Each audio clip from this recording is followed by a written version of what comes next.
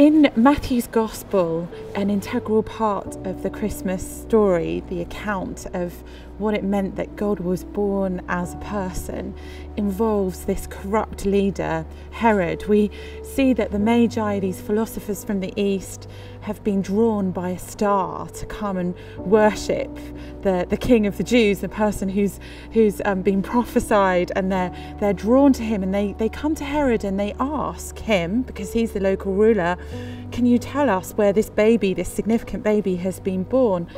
And so Herod immediately recognize, uh, recognizes a potential threat to his power.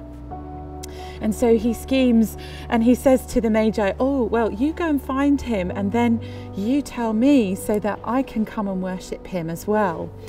So Herod, a corrupt ruler, pretends that he's going to worship Jesus too. He pretends to worship. In pursuit of his own comfort and convenience, he then commands that all the children, all the babies, firstborn males that have been born in Bethlehem and that surrounding area, that, that they be destroyed. On the altar of his own arrogance, he sacrifices the children of a generation.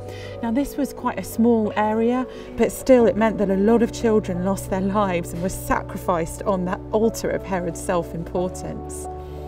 This shows us that Jesus is coming, Jesus as the King, Jesus as the ruler, even in the form of him as a baby, is a threat to corrupt and vested interests.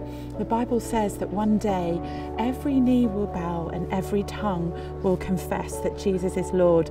And that includes authorities who currently set themselves up, systems who set themselves up against God and His goodness. So it shouldn't surprise us then when Jesus is born, when God comes as a human being, that that sort of opposition is stirred up, that corrupt leaders recognize when their authority is under threat.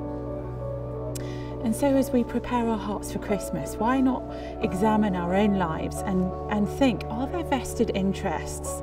Are there um, levels of, of comfort and my own autonomy that have set themselves up that would regard Jesus as King as a threat? Are there areas in my own life where I need to bow the knee to Jesus, where I need to, to worship Him and to allow perhaps my own comfort, my own self interest to, to be stripped away in following Him.